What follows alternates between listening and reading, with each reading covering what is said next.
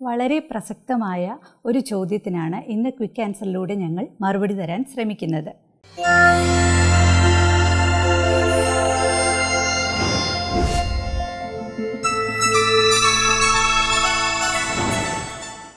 അതായത് ബി പിക്കുള്ള മരുന്നുകൾ അല്ലെങ്കിൽ പ്രമേഹത്തിനുള്ള മരുന്നുകൾ ഒരിക്കൽ തുടങ്ങിക്കഴിഞ്ഞാൽ പിന്നെ അത് നിർത്താൻ പറ്റില്ലേ? സ്ഥിരം കേൾക്കാറുള്ള ഒരു ചോദ്യമാണ്.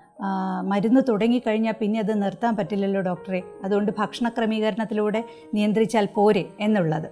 അപ്പോൾ ഇതിന്റെ ഉത്തരം എന്ന് പറഞ്ഞാൽ ബി പിയുടെ മരുന്നാകട്ടെ അല്ലെങ്കിൽ രക്താതിസമ്മർദ്ദത്തിനുള്ള മരുന്നാകട്ടെ പ്രമേഹത്തിനുള്ള മരുന്നാകട്ടെ ഇവയൊന്നും തന്നെ അഡിക്ഷൻ ഉണ്ടാക്കുന്ന മരുന്നുകളല്ല. അതുകൊണ്ട് തന്നെ മരുന്ന് നിർത്താൻ പറ്റാതെ വരിക എന്നൊരു അവസ്ഥയും ഇല്ല. പിന്നെ നമ്മൾ മനസ്സിലാക്കേണ്ടത് എന്തെന്നാൽ പ്രമേഹം രക്താതിസമ്മർദ്ദം തുടങ്ങിയ അസുഖങ്ങൾ ഒരാളിൽ സ്ഥിരീകരിച്ചാൽ അത് ജീവിതാവസാനം വരെ ഉണ്ടാകാനുള്ള സാധ്യത വളരെ കൂടുതലാണ്.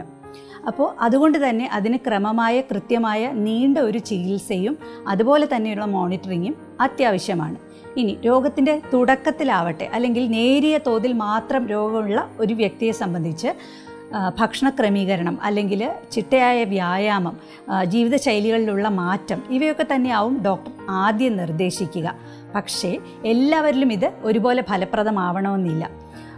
മാത്രമല്ല രോഗം കൂടുതലുള്ളവരോ അല്ലെങ്കിൽ വേറെ എന്തെങ്കിലും കോംപ്ലിക്കേഷൻസ് ഉള്ളവരോ ഒന്നുമില്ല. സാധാരണക്കാർ തന്നെ ചില ആൾക്കാരിൽ ഇതുകൊണ്ട് മാത്രം വേണ്ട അളവിൽ രക്താതി രക്താതിസമ്മർദ്ദം നിയന്ത്രിക്കാനോ അല്ലെങ്കിൽ ഷുഗറിന്റെ അളവ് കൃത്യമായി എത്തിക്കാനോ കഴിഞ്ഞൊന്നും വരില്ല. അത്തരം സാഹചര്യങ്ങളിൽ മരുന്നുകൾ അല്ലെങ്കിൽ ഇൻസുലിൻ പോലെയുള്ളവ ഉപയോഗിച്ച് എങ്ങനെയെങ്കിലും അത് നോർമൽ ലെവലിലേക്ക് താഴ്ത്തിക്കൊണ്ടുവരിക എന്നതാണ് ശരിയായ ചികിത്സാ രീതി.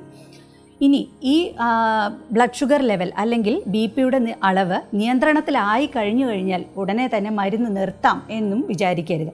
അത് ശരിയായ ഒരു പ്രവണതയല്ല കാരണം നമ്മൾ മരുന്ന് നിർത്തി കഴിഞ്ഞു കഴിഞ്ഞാൽ പനിയോ അല്ലെങ്കിൽ അണുബാധയോ പോലെ മാറിപ്പോകുന്ന പൂർണമായി ഭേദപ്പെടുന്ന തരത്തിൽപ്പെട്ട ഒരു അസുഖങ്ങൾ അല്ല പ്രമേഹമോ ബി പിയോ അല്ലെങ്കിൽ മറ്റ് ജീവിതശൈലി രോഗങ്ങളോ ഒന്നും തന്നെ. അപ്പോൾ അതുകൊണ്ട് തന്നെ നമ്മൾ മരുന്ന് എപ്പോൾ നിർത്തുന്നു അതിന് വളരെ കുറച്ച് സമയം കഴിയുമ്പോൾ തന്നെ കാര്യങ്ങൾ പഴയ പടിയാകും അതായത് മുന്നത്തേക്കാളും കൂടുതൽ വഷളാവാനും സാധ്യതയുണ്ട്. അപ്പോൾ അതുകൊണ്ട് തന്നെ ചിട്ടയായ വ്യായാമ രീതികളും ജീവിതശൈലിയും തുടരുന്നതിനോടൊപ്പം തന്നെ ക്രമമായി ബി പി മോണിറ്ററിങ് അല്ലെങ്കിൽ ഷുഗർ ലെവൽ മോണിറ്ററിങ് ചെയ്യേണ്ടതും വളരെ അത്യാവശ്യമാണ്. അതോടൊപ്പം തന്നെ കൃത്യമായി മരുന്നുകളും ശരിയായ അളവിൽ നിർദ്ദേശപ്രകാരം തന്നെ കഴിക്കുക എന്നുള്ളതും പരമപ്രധാനമാണ്. അപ്പോൾ നിങ്ങൾക്ക് എല്ലാവർക്കും ഇതിൽ നിന്നും മനസ്സിലായി കാണും. നേരത്തെ പറഞ്ഞതുപോലെ ബി പിയുടെ മരുന്ന് അല്ലെങ്കിൽ ഷുഗറിന്റെ മരുന്ന് ഒരിക്കൽ തുടങ്ങിക്കഴിഞ്ഞാൽ നിർത്താമോ എന്നുള്ളതല്ല സംശയം. ഇത്തരം രോഗങ്ങൾക്ക് കൃത്യമായ ചികിത്സ അവൈലബിൾ ആണ്. അത് നിങ്ങൾ എടുക്കുകയാണെങ്കിൽ സാധാരണ ആരോഗ്യമുള്ള ഒരാളെ പോലെ തന്നെ ആയുർദൈർഘ്യം നിങ്ങൾക്കും ലഭിക്കും.